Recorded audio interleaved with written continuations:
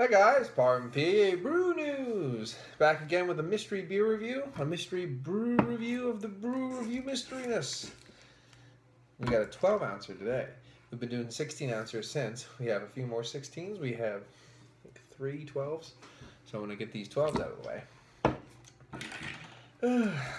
this is not the technically finishing of a day. It's more the belated super early start of a day, so I figured I could treat myself for a little bit before I really get cracking. I cut the label off, so we're gonna crack it open. I'm just so happy that while cutting things off prior to actually drinking them, I haven't actually cut through any um, bottles yet, or cans yet, which I'm quite actually surprised. Nothing that another thing that surprised me. I know I'm putting the can here. It's just nothing, you know but I did it anyway. The one thing that surprised me, because the magic of these wonderful little uh, mystery beer reviews. Also, Matt from Massive Beer Reviews, I've mentioned him already a few times about the mystery thing, so posted all the mystery things. They're super, super. Go check out his channel, is what I'm trying to say. I mean, don't, obviously. But, um, well, you can always dislike stuff. Anyway, there is a shit ton of alcohol legs on this one sticking to the glass, the brewery in my brewery glass. Lots of proteins rising up the side, indicative, uh, hopefully, of a very nice body. Cocoa colored head, absolutely, and just jet black. The black of the pitchness is very in this crazy ass glass. All right. Didn't really expect this. I was actually expecting an IPA or something like that, and then this beast just kind of emanated out of the out of the the precipice of the glass of the can, like raw. So that's pretty awesome. Subtle hints of a dark fruit in there. Subtle hints of almost a, a raisin, but underneath that, uh, way underneath. And on top of that, I'm getting the coffees, a little bit of hint of milk chocolate, and the roasty toasty goodness, of course, little char smoke. Let us proceed. Cheers.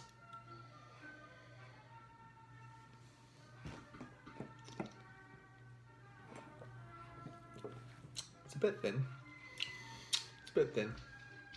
But being a bit thin, it's the low side of a full mouthfeel, so it's still fine.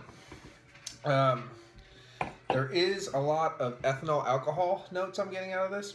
So there is a little hints hints of a, a little uh, fruit in there coming, like a raisin, a little bit of a juicy, like a darker fruit. I think it's coming from the ethanol alcohols more so than from um, ingredients, I should say. Hi, dog. Dog's in here.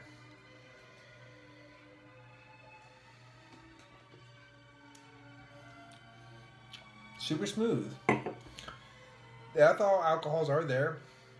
They're kind of aromat the aromaticity of the alcohols are going across the palate when you're breathing them out. But overall, soft, soft hints of roasty, toasty earthiness, little soft hint of a nuttiness. Uh, very nice creamy body. Um, I have to assume a, a very oatmeal-esque body going through. With the slightest hint of a, like a baker's chocolate not really pulling a lot of sweetness out of the milk chocolate aspect, and it's not getting all charry and grim and evil like the like a like a dark chocolate. Just a little bit of a baker's chocolate in there.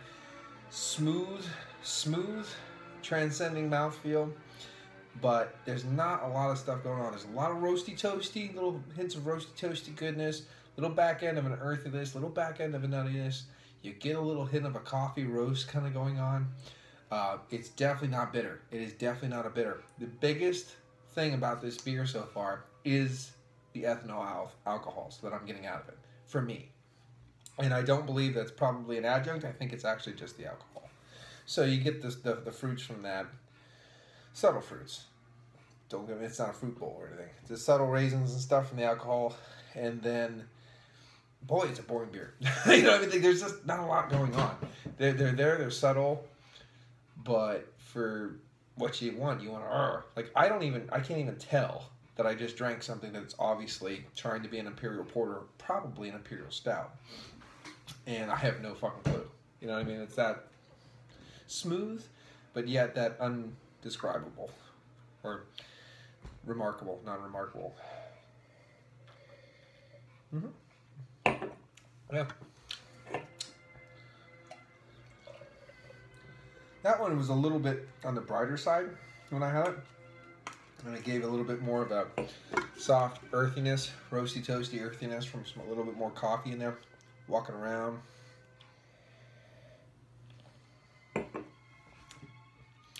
Yeah, pretty much.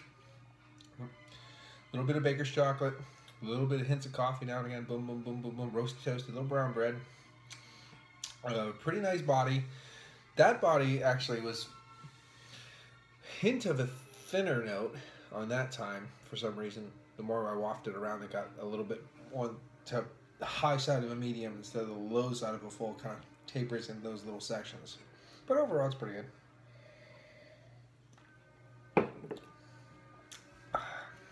Would I be happy if I made it? Absolutely. Wow, six minutes and 13 seconds talking about a beer I thought I said was boring. Well, that's fun. Um, little bit more of a charry bitterness that is starting to build slowly. So now that I can actually taste it, I drank something. Oh yeah, here it is. I don't know what it is. Mm, no idea. Uh, there's nothing that's shining through. They're like, oh, well, that's got this in it. No, nothing. Uh, I give it an 8 out of 10 without a problem. What is it? Oskar Blues Ten FIDY. Wow. Yeah, you know what? That's really funny because I've had some Ten FIDY and I've been drinking Ten FIDY recently and I've been thinking the exact same thing. The body, I don't remember being that thin for some reason. I don't know why. But the overall flavors are just so damn muted, especially when it's fresh. And this is probably somewhat fresh. 1016 is still way fresh for that beer because the thing is, the ethanol alcohols, when this thing ages, will get super raisins. Almost like you blended a, a Scotch ale and a, an Imperial Stout together. And that's one thing that I have definitely been thinking of because I bought a case of Ten FIDY and I was drinking on it, drinking on it. Like, God, this is getting to me super boring. And and I'm reflecting in it in this glass right now. Because I thought, I always thought Ten FIDY was like, oh, 9 out of 10 or whatever, this and that. Boring now. I killed myself. I killed myself on it. And I'm, this is a shocking truth of that statement. And that's the thing is, you learn stuff when you do these things. The information. You've had this one before, both fresh and aged, indeed I have, and thoroughly enjoy it, but I'm curious to see if you can guess while drinking it blind. This one, almost six months on age, will be received the time of the, the, the beer mail. Yeah, so it's kind of caught in between. Yeah, and it's not there yet. If you have Ten FIDY, make sure you age the fucking thing because it's just worth it. It's such a better beer when it gets age on it.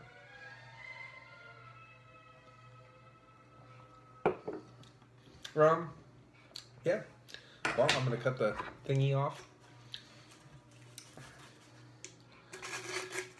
Thingy off. Yeah. I mean, you guys know what it probably looks like.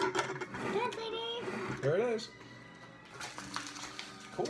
And I don't try to guess beers. I'm not going to try to do that. I'm not, well, I can tell you, I know so much that it's got to be this beer. And it's probably this fucking brewery because this bottle looks like a dildo. And I'm not going to do that. I'm just going to be like, oh, this is what I get and find out what it is. That's about it.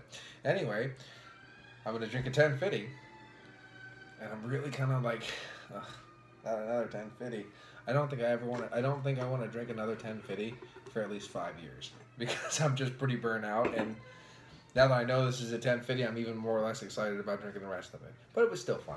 This is Paul from PA Brew News. Cheers. Thanks, Joe.